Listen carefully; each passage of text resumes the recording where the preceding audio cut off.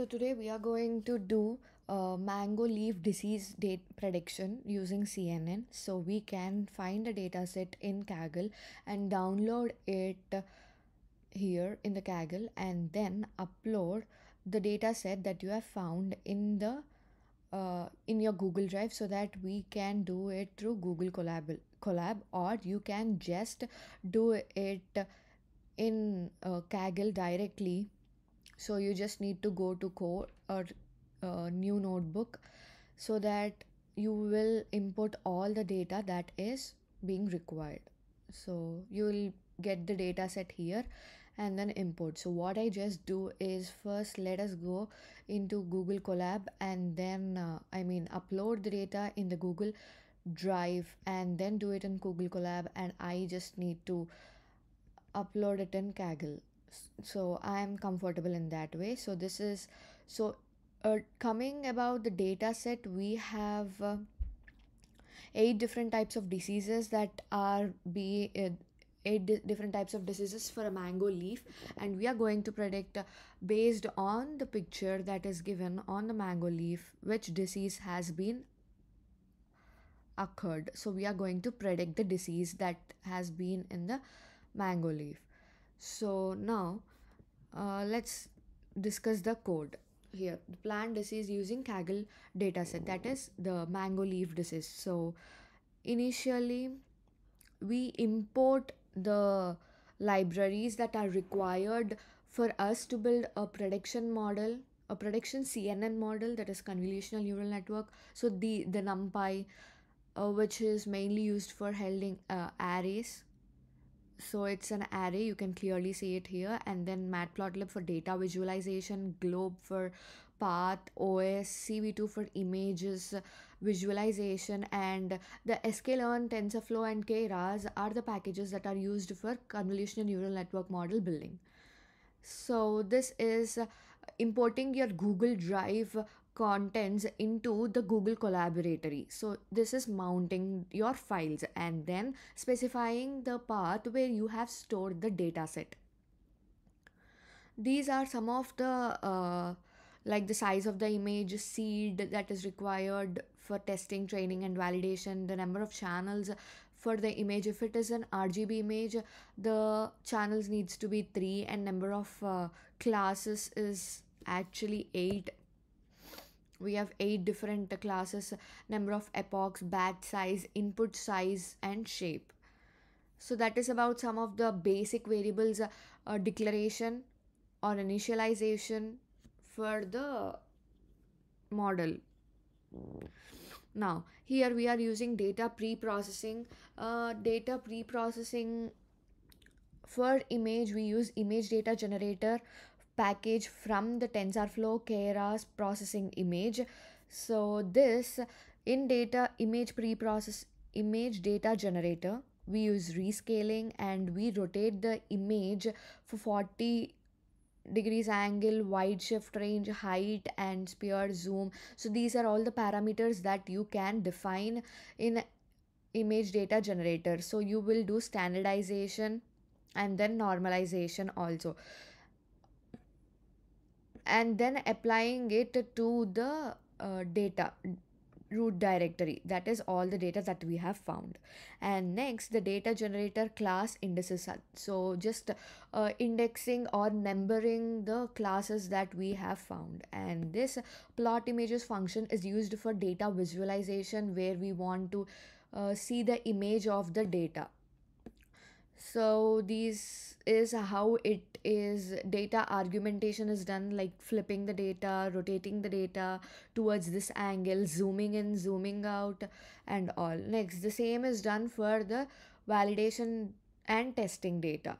So training testing generator uh, and test generator for the images and converting that is important. We have kept the images as you have seen in this we have kept the images uh, to be color because when it comes to leaf disease the color or intensity and the areas which leaf has been can also be affected like affect the prediction.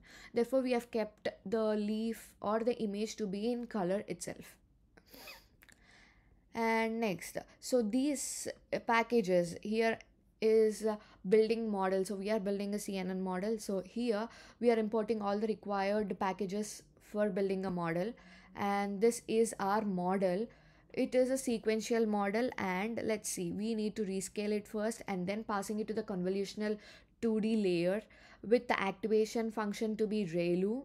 And next the these the this layer inputs and after the input is passed to this layer the output is passed to this layer with a dropout of 2.5 so this layer's output is an input to its next layer and next and this layer's in output is input for the next layer.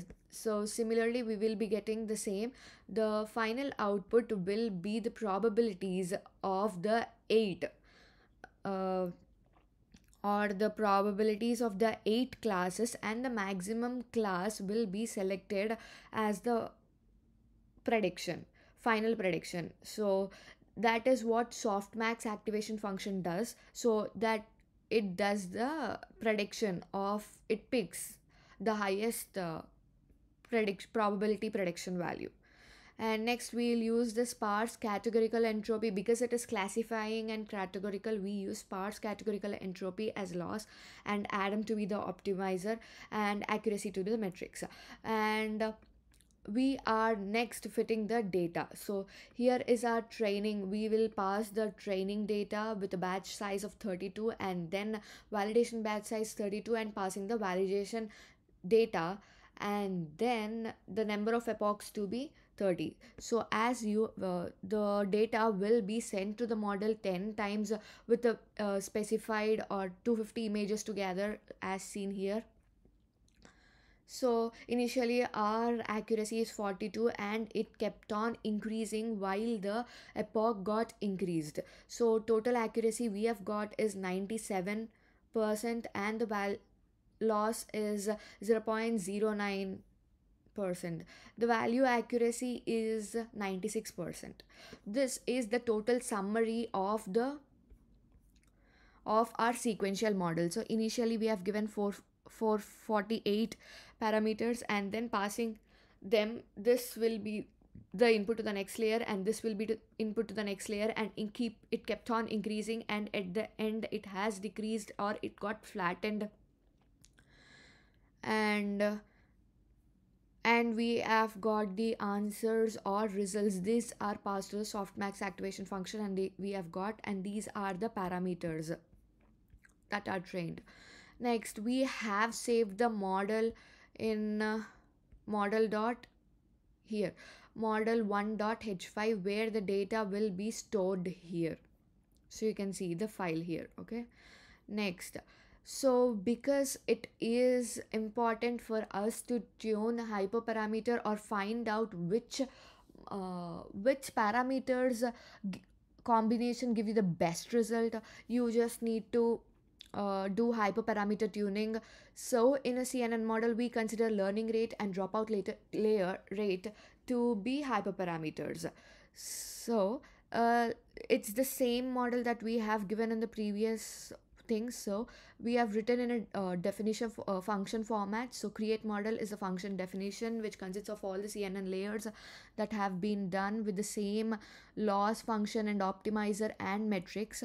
And that uh, it's nothing but we have kept the model in the function. That's it. Next the parameters that we want to do is learning rate passing the model or testing the model with the combinations of learning rate and dropout.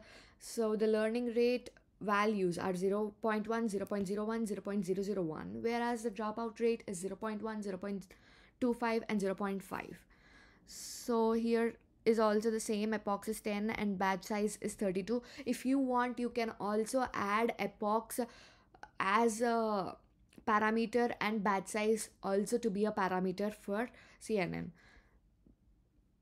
uh, and this is the model and we are uh, calling our model and then early stopping does what does it do is whenever the accuracy has at some point when the accuracy is getting low this early stopping will help to stop the epoch rate at that point by avoiding overfitting.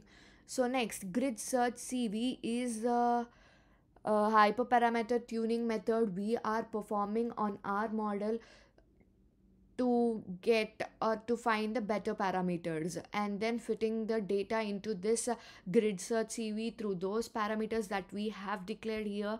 And then uh, we got the best score. So the learning rate we achieved is 0.01 and dropout rate is 0.5 so this is about the hyperparameter tuning. So we have successfully built a, a cnn model with an accuracy of 96% and uh, performed hyperparameter tuning and also used overfitting stopped overfitting. So this is about that. And this is the website that has been developed for mango leaf disease prediction. So this website explains the code that has been explained in detailed so you can also refer to it, this. Thank you